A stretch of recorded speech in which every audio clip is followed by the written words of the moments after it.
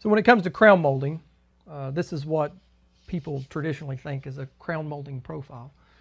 Um, it rests against the wall and against the ceiling. Typically, it's at a 52 degree projection angle, they call it. Um, and this has become synonymous with crown. But in reality, any any profile that you use at the top of the wall against the ceiling would be distinguished as a as a crown molding. In this case, it's a, a craftsman crown. We have a build out. We have a flat on the wall. We have a flat on the uh, ceiling, and then it's just got a couple of detail profiles in there.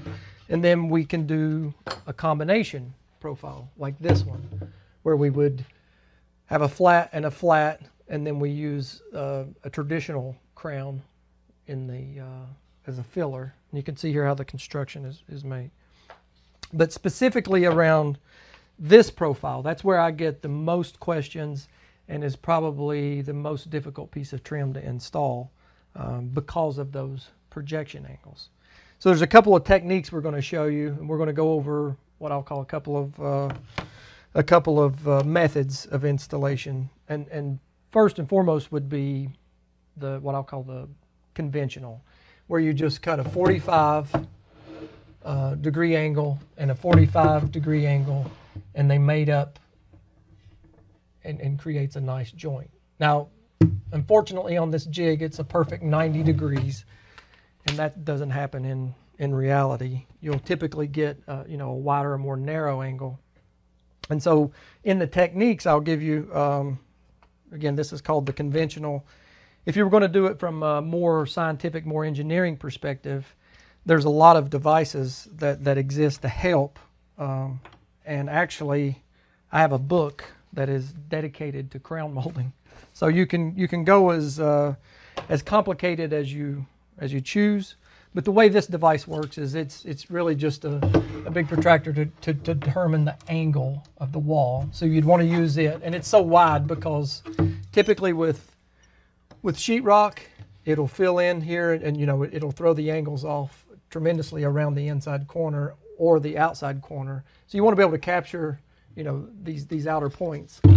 But we'll just we'll throw the device in, lock it down, and then we come down and determine the angle. Like I said, this is 90. It's not typical. But if we get a 92 or 88 degree angle, then this book, and we also have it available on our website, this book has a mitering chart, which basically says if you have an 88 degree angle, um, or we'll say a 92 degree angle, then you would set your chop saw at 44 degrees. Uh, and it, it's, it's listed, you know, in half a degree increments. So so that that's pretty technical and obviously requires you know the, the purchasing of the of the of the large device. And then the third the third method, which is uh, I guess my method of, of preference would be to cope. Um, and coping on the surface looks very very uh, intimidating, but it's really it's really simple. And and to determine really what all coping is is we're cutting the shape of this profile into the mating part. And it allows us to, to install the, uh, the first piece of trim flush to the wall. And then the mating piece will die into it.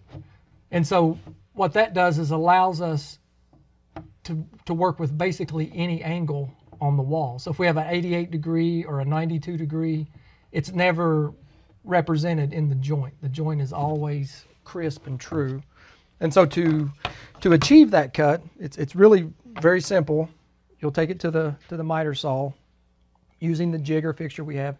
You'll do an inside cut. With that inside cut, you'll then take a, a pen or a pencil and just mark the in this case the open cell structure area And with that, that gives you the line that you need to cut. So this is the coping saw that we used to cut along the line and create this coped piece. But the, the thing about this technique is because you do have a true butt joint in the build, um, if you have a, we'll say if you have a, a room that looks like this, you would have a butt joint here and then a coped joint here. So in this room, you're only going to have to create one, two, three, four, five cope joints. It's not like with the miters where you have to have two joints per. Um, and then, of course, the outside corner wouldn't require one. But the other thing about installing um, the crown mold is that projection, projection angle. So inevitably, if you try to install it just working off the two feet that we give you that rest against the wall and the ceiling, as you as you work along, you're either going to push it up on the ceiling or you're going to let it fall down on the wall. And so what happens in that scenario is when you get to the area where you're trying to put it together, you're going to end up with something that looks like this. And it's extremely frustrating. And really the only way to correct it is to remove that piece and readjust it. So there's two techniques you can use to overcome that. One is you can you can place this on a on a table and determine you know the size of this opening, and you can create little filler blocks, and you can put these little triangle triangle filler blocks over each um, stud or, or framing member. But it, it, it's quite difficult because of that 52 degree projection angle. On the 45 degree crown, a little simpler. But we've got a, a, a little device here. We'll show you how to make this um, that, that is real simple to use. All we're doing basically is we're measuring down from the ceiling and out from the wall. And when we go to install the crown, I usually make a couple of these if you've got more than one person installing. It holds it at the proper angle.